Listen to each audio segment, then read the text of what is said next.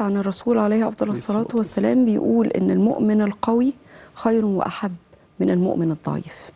القوة مقصود بيها إيه؟ والضعف مقصود بيه إيه؟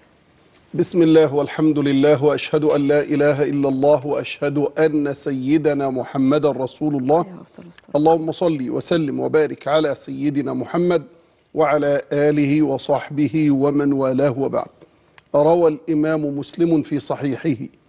من حديث أبي هريرة أن النبي صلى الله عليه وسلم قال المؤمن القوي خير وأحب إلى الله من المؤمن الضعيف. سيدنا رسول الله صلى الله عليه وسلم في هذا الحديث قال لنا آم، أربعة أمور. المؤمن القوي خير وأحب إلى الله من المؤمن الضعيف وفي كل خير. استعن بالله ولا تعجز.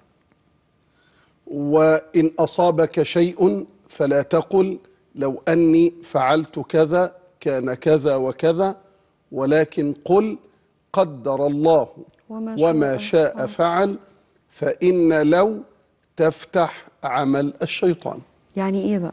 انتهى حديث النبي صلى الله عليه وسلم سيدنا رسول الله. صلى الله عليه وسلم بيقول لنا يا جماعة المؤمن اللي قوي اللي عنده عزيمة اللي عنده علم وبصيرة تجعله خاشع لله في صلاته تجعله إيجابي آمر بالمعروف وناهي عن المنكر بضوابطها بالحكمة والموعظة الحسنة تجعله نافع للمجتمع تجعله عنده بصمة وله أثر تجعله عصامي مش عظامي.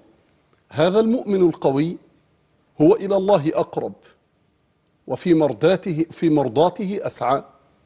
هو خير للناس ولنفسه وأحب إلى الله عز وجل ولكن في كل خير.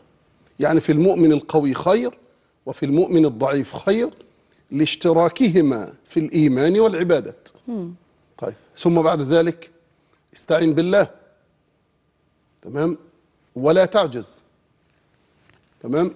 استعن بربنا سبحانه وتعالى آه، في كل أمورك.